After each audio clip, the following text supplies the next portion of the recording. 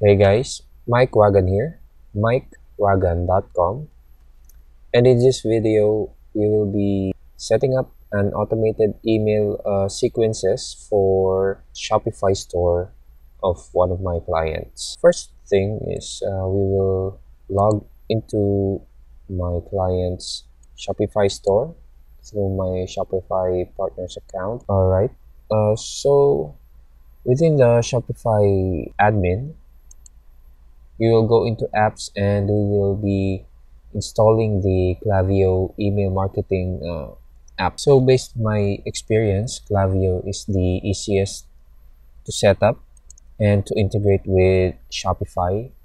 And it also has some of the sequences already available for us to use. And we will just need to customize each one so that we can use it properly and have the contents of each email customized based on our needs or on our uh, desired voice of our brand. Of course, we will also need to set up our logos and colors and stuff like that. But most of the part, it is very easy to set up with Klaviyo. So that's why we will use Klaviyo. By the way, uh, so here in the Klaviyo uh, interface, uh, the first thing that we will need to do is to sign up for an account. Here is where we will put our information. So let's just get the information correct. So in here, we will just need to continue with the wizard that Klaviyo has already provided for us. So it automatically fills up some of the data that they need like for example the website URL we will need to add in the myshopify.com URL there if it is not automatically filled up. Next it will ask us if we already have an email list.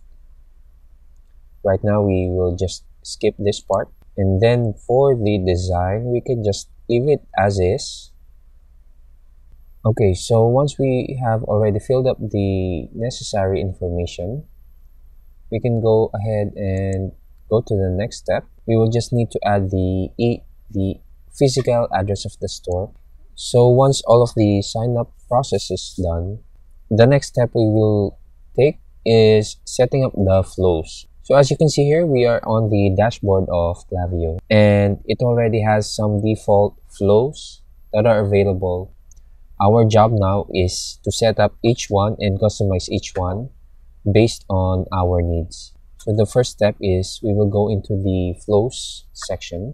As you can see here, here are the automated uh, sequences that are available. We have abandoned cart. There are two emails there.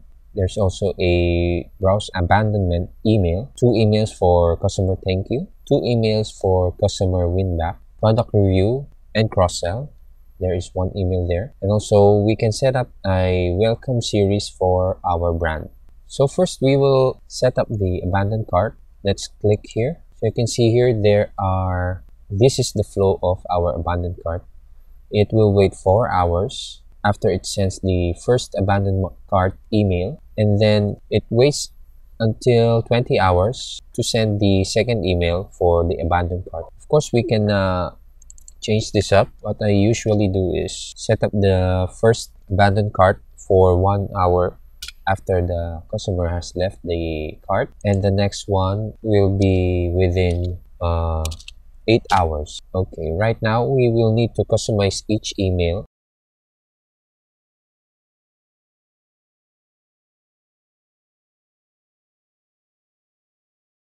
Okay, the first email, we are already done with it so we can um, make it live?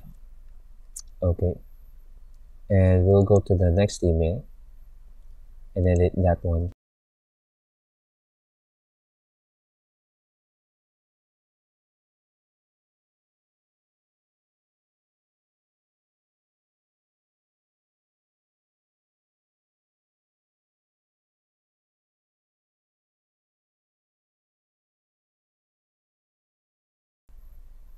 okay we will just click on done and then we will activate that second um, so right now we have two abandoned cart email sequences.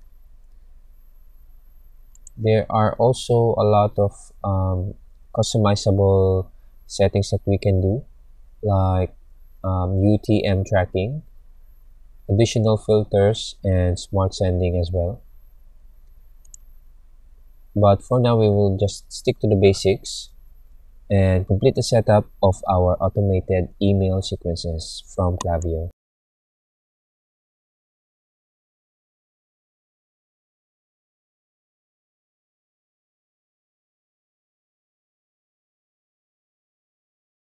A few moments later. So these flows are done now. For the welcome series, I will set it up later since I will still need to create the copy for those three emails.